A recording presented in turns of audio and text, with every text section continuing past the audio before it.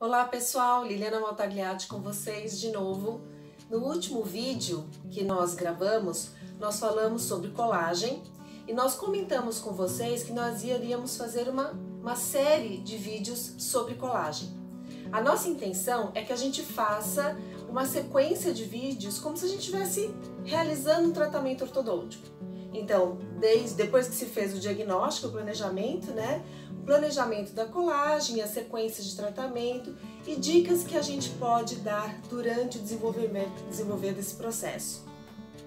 E muitas vezes é, a gente recebe uma documentação, to, toma um tempo grande no planejamento, faz um bom diagnóstico e fica muito mais preocupado em definir qual dente que eu vou extrair, onde eu vou instalar minha ancoragem, como eu vou fazer uma distalização, uma mesialização, fechar os meus espaços e acabo não prestando tanto atenção no momento da colagem.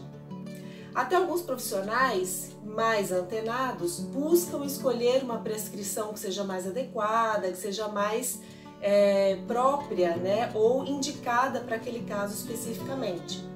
Mas além disso, é muito importante e facilita muito a nossa vida o planejamento do posicionamento dos bracts, independente de prescrição, independente de tipo de bract escolhido. Então, a nossa intenção nesse procedimento de colagem, nós já falamos da colagem Tom Pitts, que é uma colagem que tem como objetivo a, a constituição da curva do sorriso, né, definida pelo Tom Pitts, mas a gente precisa falar também da colagem básica, da colagem do straight wire, como que ela nasceu, né?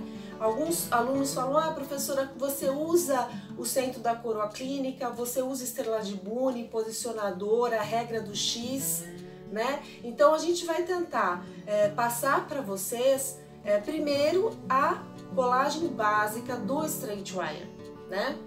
E durante os vídeos vocês vão entender por que, que existe a estrela de Boone, por que, que existe o posicionador, por que, que existe a regra do X. Então vamos começar do início, né? Se nós estamos usando brackets pré-ajustados que têm embutidos neles as, as características de angulação, inclinação, rotação, posicionamento do dente da coroa dentária de uma forma geral, a colagem preconizada pelo Dr. Andrews, que foi o idealizador do aparelho Straight Wire, é muito importante para que a gente tenha melhores condições de leitura da prescrição que foi embutida nesse bracket. Então, nesse vídeo que nós vamos mostrar agora para vocês, nós vamos explicar como é a colagem é, preconizada pelo Dr. Andrews junto com o desenvolvimento do aparelho Straightwire. E a partir daí, nós vamos então conversar sobre alguns detalhezinhos de colagem que são importantes e pequenas alterações que podem ser realizadas, inclusive é, a utilização da regra do X né, que nós vamos citar já nesse primeiro vídeo, uh, para que vocês possam então depois ir entendendo os processos, as alterações de colagem e as dicas de alterações de posicionamento de acordo com a conveniência de cada caso. Tá certo? Então vamos começar nesse primeiro vídeo. Fique aí com as imagens que nós preparamos para vocês sobre a colagem dos brackets ortodônticos de acordo com a técnica straight wire de acordo com o Dr. Lawrence Andrews, ok? Fica aí. Bom, pessoal, então vamos lá dar continuidade aos nossos vídeos de colagem. E hoje nós vamos falar então sobre a técnica de colagem eh, tradicional do aparelho straight wire desenvolvido pelo Dr. Lawrence Andrews e nós vamos entender o porquê da importância eh, da colagem que ele preconiza ser no centro da coroa clínica, como que ele encontrou esse ponto e como e por que, que ele preconiza esse ponto. O Dr. Lawrence Andrews fez uma série de trabalhos na década de 60 que começou inicialmente com o objetivo de verificar qual que era a padronização ou a excelência de finalização dos casos tratados nos Estados Unidos. E combinou com uma série de trabalhos que acabou gerando tanto o trabalho das seis chaves de oclusão de Andrews, que a gente utiliza como referência de tratamento, né? Como o desenvolvimento do próprio aparelho Straight Wire, ok? Então, para que ele tivesse a referência do posicionamento dentário ideal, ele utilizou modelos de oclusão normal. E a análise das características das coroas desses modelos levaram ele a desenvolver o aparelho Straightwire. Foram vários trabalhos, como eu disse, mas especificamente o de 1972 fez com que ele utilizasse e demarcasse e determinasse referências nas coroas dentárias para definir as características dessas coroas, que levou à sua preconização tanto da prescrição quanto do posicionamento dos acessórios. Então, para que ele pudesse avaliar quais eram as características de posicionamento no espaço das coroas dentárias, ele precisou de usar algumas referências que nós vamos descrever a seguir. Importante primeiramente citar que, como ele usou modelos de gesso, ele não tinha, obviamente, a visualização das raízes desses dentes. Então, ele usou o que a gente chama de coroa clínica dentária, que é a coroa anatômica, que é o tamanho da coroa propriamente dito, descontado o espaço ou, ou a sobreposição da gengiva livre sobre essa coroa. Então, a coroa anatômica ela vai da junção amelo-sementária até a incisal. E a coroa clínica vai da inserção gengival até a incisal. Então, desconta a parte da coroa que é sobreposta pela gengiva, que normalmente é de 1,8 milímetros. Então, nós poderíamos dizer que a coroa clínica ela é a coroa anatômica menos 1,8 milímetros, ou 1,8 milímetros a partir da junção amelo-sementária. Então foi essa coroa que ele usou como referência para analisar as características de posicionamento dentário. As referências que ele utilizou para fazer essa avaliação foram o longo eixo vestibular da coroa clínica e o ponto EV. O que, que é isso? Ele definiu com um lápis, ele riscou em todas as coroas do, dos modelos de gesso a porção mais proeminente da coroa. Então ele pegou um lápis, colocou esse lápis é, tangenciando a coroa dos dentes e fez um risco definindo a porção mais vestibular. Então, onde o lápis riscasse, significava que ali era a porção mais vestibular. E chamou esse, esse eixo de eixo vestibular da coroa clínica, o famoso EVCC, que é o longo eixo da coroa clínica, ok? Nos incisivos caninos e pré-molares, ele fez exatamente assim com o lápis. Nos molares, em vez de tangenciar e riscar com a grafite, ele marcou o sulco vestibular das coroas dos molares. Então, a referência de eixo vestibular ou de longo eixo da coroa clínica nos molares não é a sua porção mais proeminente, e sim o sulco vestibular, ok? Essa é a primeira referência. A segunda referência foi a demarcação do ponto EV, ou seja, em cima do EVCC, em cima do eixo vestibular da coroa clínica, ele marcou o ponto médio no sentido cérvico-oclusal, que delimitaria então o meio dessa coroa clínica no sentido vertical. E esse ponto, localizado então na metade né, vertical dessa coroa, posicionado sobre o longo eixo das coroas, ele chamou de ponto EV, ou ponto do eixo vestibular, né? EV, eixo vestibular, certo? E assim ele definiu que se os bractes fossem posicionados em cima do ponto EV sobre o longo eixo, ao final do alinhamento e nivelamento, os dentes estariam corretamente posicionados. E por que, que ele definiu que os breques teriam que ser posicionados centralizados no ponto EV? Porque para definir características como contorno da coroa, qual é o contorno convexo da coroa desses dentes, bem como a espessura oclusal desses dentes, para ele definir espessura de base de Brecht, contorno de base de Brecht, ele desgastou esses modelos de gesso em sua oclusal, foi desgastando, desgastando, desgastando, até o ponto EV, em todas as coroas. E aí, ali, naquele ponto, ele definiu qual era a curvatura da coroa, qual era a espessura da coroa, tá? Então, por isso que os bractes pré-ajustados, eles, eles são com, é, confeccionados, eles são desenhados para serem posicionados nesta região, certo? Então, quando os dentes tivessem passado por um processo de alinhamento e nivelamento com os brackets corretamente posicionados, ao final, passando-se um fio, o último fio de nivelamento, esses pontos estariam todos na mesma linha, formando o que ele definiu de plano de Andrews. Então, é o, a, o alinhamento de todos os pontos EVs de todas as coroas clínicas, ok? Que a gente pode, num caso de final de alinhamento e nivelamento, definir como se fosse um fio 19 por 25 de aço. Então, o fio 19 por 25 de aço ele representaria a constituição do plano de Andrews. Ok? Então eu vou lá, na cor, quando eu vou posicionar o meu bracket na coroa clínica aqui é, representando um incisivo central, eu vou definir qual é o ponto médio dessa coroa e vou definir o longo eixo dessa coroa, seu EVCC. E aí o meu bracket terá que ser posicionado, então o centro geométrico do bracket tem que ser posicionado em cima do ponto EV e com o seu longo eixo em cima do longo eixo dessa coroa clínica, tá certo? Muito bem. Aí eu vou então posicionar assim todas as coroas clínicas para definir o alinhamento e com isso eu vou ter certeza que o meu bracket está posicionado no centro da coroa clínica, tá certo? Então, este é o método de posicionamento de brackets definido pela técnica Straightwire. Ou seja, a colagem dos brackets com o seu centro no ponto EV e com longo eixo no EVCC deixará todos os dentes alinhados e nivelados com inclinações, angulações e rotações corretas no fio 19 por 25 de aço.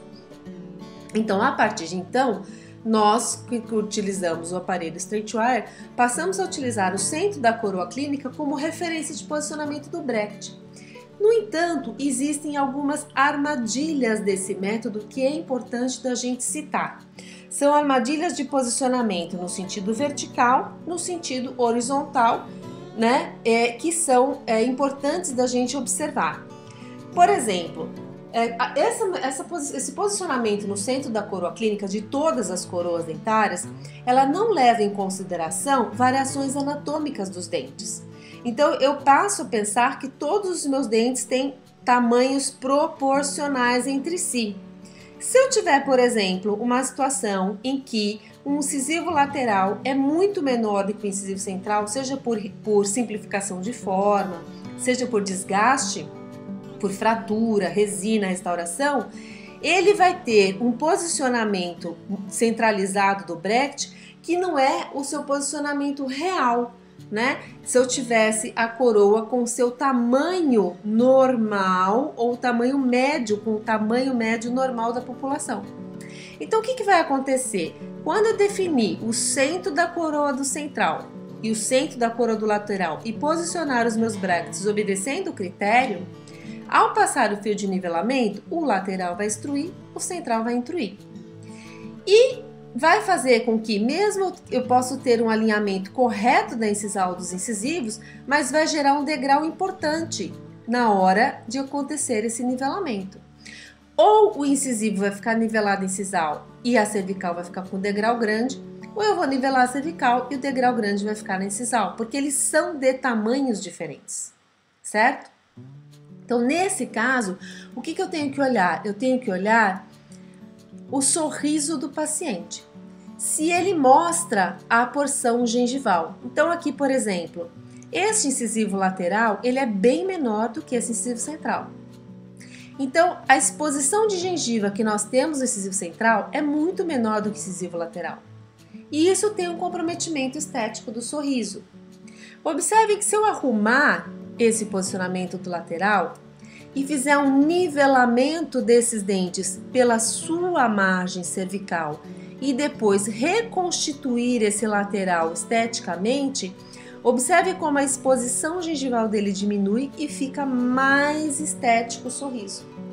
Então, eu não posso é, cegamente colocar no centro da coroa de todos os dentes sem avaliar essas variações anatômicas. Então, sim, a minha referência é o centro da coroa, mas eu vou ter que observar individualmente em cada paciente meu se não existe nele variações anatômicas que me façam, em um dente ou outro, ter que deslocar a altura de posicionamento. A mesma coisa acontece no incisivo lateral grande, ou porque o central é que está desgastado, restaurado e perdeu a altura, ou porque o lateral é grande mesmo, né? E aí nós vamos ter o mesmo problema, nós vamos definir o centro das coroas, vamos posicionar os brackets tendo como referência o ponto EV e o EVCC. Aí, quem vai instruir é o lateral, quem vai instruir é o central, e aí eu vou ter o nivelamento de margem cervical e eu vou ter o degrau aí na incisal, que é o que eu comentei aqui já, mas no sentido oposto, considerando agora o central como um dente menor. E isso é ruim. O próprio paciente, quando cria esse degrau incisal, o próprio paciente reclama. Na cervical, eles não têm tanto olho clínico para fazer essa queixa, mas no, na oclusal, sim.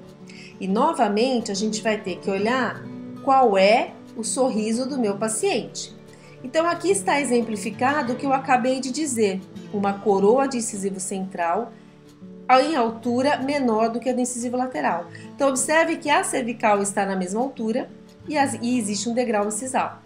Então quando eu for colar, o que, eu tenho que pensar? Ou eu vou uh, colar o bracket intruindo esse central, certo? Uh, deixando o nivelamento cervical correto e aumentar esse central, ou eu vou colar o bracket do, do lateral mais para incisal e intruir o lateral e ficar com desnivelamento na cervical. Então, esse tipo de decisão eu faço baseado no sorriso do meu paciente, tá? Para não deixar esse desnivelamento incisal que compromete o sorriso do meu paciente. Então, os pacientes que têm sorriso alto, ou seja, quando eles sorriem, eles mostram todo o dente superior, toda, toda a, a coroa dos incisivos, mais uma faixa gengival, eu preciso privilegiar o nivelamento da margem cervical. E depois eu faço o ajuste estético. Então, por exemplo, aqui, ó, se eu aumentar esse incisivo central, eu fico com uma proporção melhor, sem atrapalhar o nivelamento cervical. E depois eu posso fazer um ajuste com pequeno desgaste nessa área mais arredondada do incisivo lateral, tá? Então, deste lado, isso está corrigido e deste lado não. Olhe como fica mais estético o nivelamento dentário, né? Quando a gente faz esse ajuste com estética. Então é importante a gente já visualizar isso ao início, até para que os nossos pacientes sejam informados da importância, da necessidade, no final do tratamento, de uma complementação estética. Então a regrinha é: se o paciente tiver sorriso alto, eu vou privilegiar o nivelamento das margens cervicais e depois eu vou acertar essa proporção de tamanho na reanatomização estética. Agora, se o paciente tem sorriso baixo, então esse nivelamento de margem cervical aqui não tem importância nenhuma, porque mesmo sorrindo, forçando o sorriso, o paciente não consegue mostrar a cervical dos dentes e nem a faixa gengival. Então aí eu vou privilegiar o nivelamento das incisais, né? E aí vai valer neste caso, se precisar, a regra do X. Então, nos próximos vídeos que nós vamos postar para vocês, nós vamos ter um falando especificamente do nivelamento cervical e da técnica de colagem para o nivelamento cervical, e o outro falando da regra do X, quais são as regrinhas do, do, da colagem dos brackets utilizando a regra do X, ok? Na região anterior, é, como a gente está falando, que é uma região estética, eu posso tanto privilegiar a margem cervical, no caso do sorriso alto, ou a incisal, no caso do sorriso baixo. Na região posterior do arco, nós não temos um comprometimento estético importante, né? Na região posterior do arco, é mais importante que a gente tenha um bom nivelamento oclusal, ou seja, as cristas marginais dos pré-molares e dos molares tem que estar na mesma linha para que a gente tenha uma boa definição de ponto de contato, evitar impacção de alimentos e etc. Então, na região posterior, o nivelamento das cristas eh, eh, marginais, que equivale ao nivelamento da incisal na região anterior, é, é, mais importante do que o nivelamento cervical. Então, a gente vai deixar um pouco de lado o nivelamento cervical na região posterior, tá? Então, no, na região posterior, quando a gente tiver variações anatômicas de tamanhos de coroas dentárias, nós vamos privilegiar o nivelamento oclusal. e vamos sempre usar a regra do X quando a diferença de tamanho de coroa dentária estiver presente. Isso é muito frequente entre os pré-molares, os segundos pré-molares serem bem menores do que os primeiros pré-molares. E aí o que acontece? Um dos dois fica em infraoclusão, se a gente colar no centro da coroa clínica sem perceber, sem dar, se dar conta dessa variação de anatomia de tamanho dentário, o que fica mais intruído cria uma ausência de intercuspidação. Então a gente chega no final e fala, nossa, mas esse premolar tá, tá no ar, ele não tá intercuspidado. E muitas vezes ocorreu porque nós colamos no centro da coroa clínica dele, no centro da coroa clínica do segundo pré, e eles não tinham tamanhos de coroas iguais, e aí sofreu a movimentação vertical e um ficou mais instruído e o outro mais intruído tá? E aí a gente fica querendo colocar elástico, muitas vezes é só reposicionar o bracket que a gente resolve o problema, tá certo? Então, na região posterior, sempre usar a regra do X quando tiver variações anatômicas, e mais uma vez a gente vai conversar sobre isso em vídeo posterior, tá? E aqui mostrando claramente que nessa, nessa imagem não aparece, olha a diferença de tamanho, de, de altura dessa coroa desse primeiro premolar para esse segundo premolar. É muito diferente. Então, eu já colei descontando essa diferença. Então, uma das regrinhas básicas do X é você escolher a coroa de menor tamanho. Nela você posiciona o bracket com a referência do centro da coroa, do ponto EV, e depois você vai copiar o X desse dente para o dente homólogo, que é o primeiro premolar e depois você usa a regra do X para os demais dentes, tá? Então, esse bracket está deslocado para o oclusal propositadamente, para que não haja, depois no final do alinhamento e nivelamento, um degrau nas cristas marginais entre esses dois dentes, ok?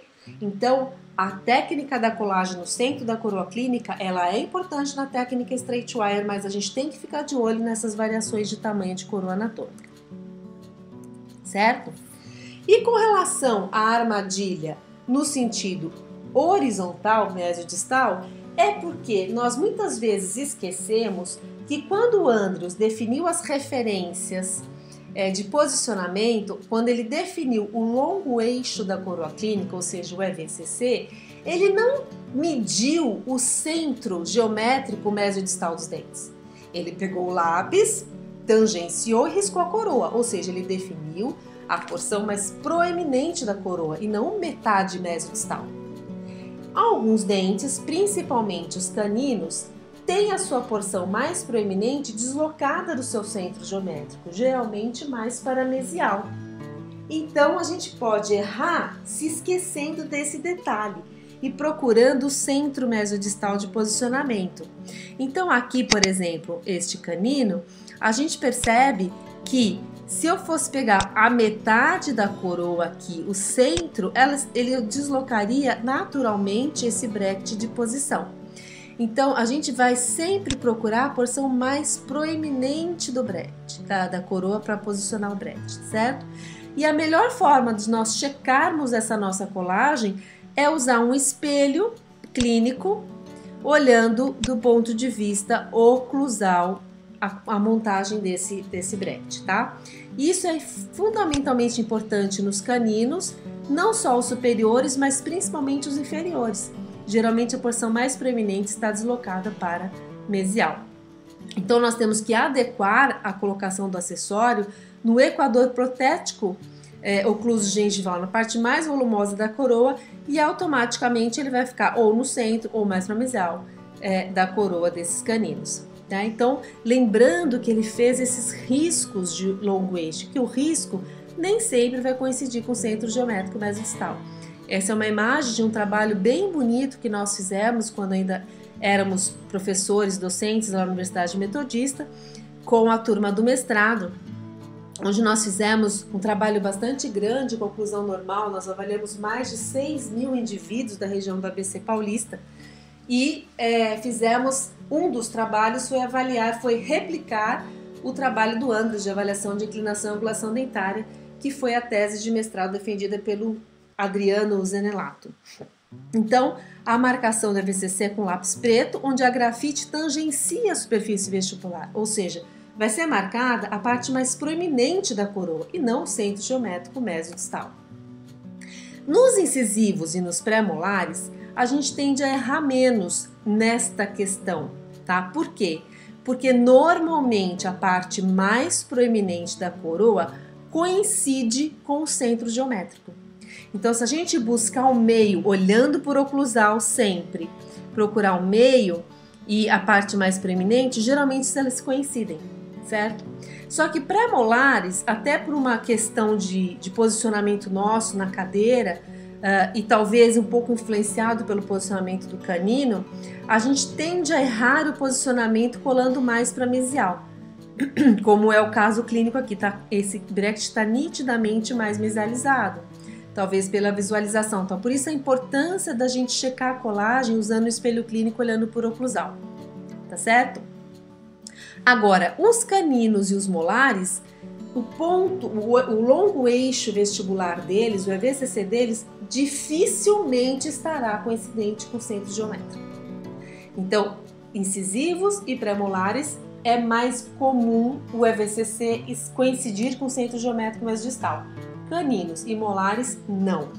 Os caninos, como nós dissemos, geralmente está mais para mesial. Então, se nós medirmos aqui essa distância, o diâmetro, né, a metade dele vai estar para distal do posicionamento do Brecht, porque esse Brecht foi corretamente posicionado, ele foi colocado em cima da porção mais proeminente, ou seja, em cima do ponto EV. Então, sempre chequem isso, tanto no canino superior quanto no canino inferior. E o molar, a mesma coisa. Lembra que no molar o risco do lápis não era no centro da, da mesodistal da coroa, era no sulco vestibular. E o sulco vestibular da coroa dos molares normalmente também está mais paramesial. Então, o tubo de colagem ele vai ficar com seu centro em cima do sulco vestibular e, em referência à coroa, acaba ficando deslocado para mesial. Então, novamente, se eu medir aqui a distância, a sua metade vai estar mais deslocada para a distal, porque nós vamos posicionar o tubo em cima, o seu centro em cima do sulco vestibular, que é o EVCC dos molares.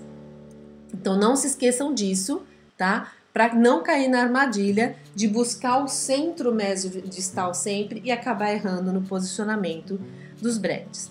E por fim, relembrar uma coisa que já foi dita no vídeo anterior, na colagem Tom Pitts, que é a, o perigo né, dos de dentes com a cúspide muito pronunciada, principalmente os caninos. Isso pode acontecer primeiro pré também, mas os caninos são os dentes mais acometidos. O que, que acontece? Quando o canino é muito pontudo, ele tem uma ponta muito forte, muito forma de ver, a coroa dele fica alongada. Então, a hora que nós posicionamos os bractes buscando o ponto EV, o centro da coroa, ele tende a ficar um pouco mais para cervical, se a gente for considerar a regra do X, por exemplo. E aí ele acaba ficando mais instruído um pouco em relação aos incisivos, tá? Isso faz com que não tenha uma estética bonita também, né? Essa imagem clínica não é a ideal, porque os incisivos também estão vestibularizados portanto, comprometendo a, a, obtenção da curva de sorriso, mas quando a gente deixa a ponta do canino muito proeminente e instruída, tem muita dificuldade de a gente obter aquela curvatura que nós conversamos no vídeo anterior. Então, lá nós já dissemos, aqui nós repetimos, que para que a gente tenha o posicionamento correto da coroa, o ideal seria então desgastar esse biquinho, né, essa, essa parte pontuda do canino, deixar ele arredondado e aí sim usar a coroa clínica, o ponto EV, achar o ponto EV e fazer a colagem do nosso acessório, tá? Ou a gente faz a colagem descontando essa, essa cúspide aqui pronunciada o canino vai instruir, depois a gente arredonda. Mas se puder já arredondar antes, eu sei que muitas vezes o paciente não concorda muito com isso, então nem em todos os casos a gente vai conseguir fazer isso, né? Mas é, fica aí a dica para que a gente tenha sempre em mente e se lembre na hora de encontrar um caso semelhante para conversar com o paciente sobre a possibilidade de fazer essa reanatomização e dar uma melhor condições de conseguir um arco de sorriso assim mais bonito, né? um nivelamento de canino mais bonito, né? e aí com a cúspide mais arredondada. Isso facilita bastante a obtenção de um posicionamento mais adequado, certo? Muito embora a gente saiba que nem sempre o paciente vai aceitar isso, ok? Então, para finalizar, é, eu gosto muito dessa frase. Eu não sei exatamente se essa frase originalmente é do Bjorn Saxon, uh, que é um norueguês, uh, ortodontista muito bom. E mas eu ouvi dele, ele falando essa frase numa das palestras que eu assisti, em que ele falava que a arte da finalização é a arte do começo, ou seja, quanto melhor nós posicionarmos os brackets no início, melhor nós teremos condições de finalizar. Então, como nós dissemos no início do vídeo, às vezes a gente fica tão preocupado com a mecânica que nós vamos fazer, com o tipo de ancoragem que vai ser utilizado, e simplesmente escolhemos um bracket, uma prescrição e colamos meio que mecanicamente no automático, sem olhar essas características, esse posicionamento, esses tamanhos de coroas, diferenças de coroas é, e outras, outras variáveis que nós vamos conversar em, em, em vídeos futuros e acaba dificultando nossa finalização.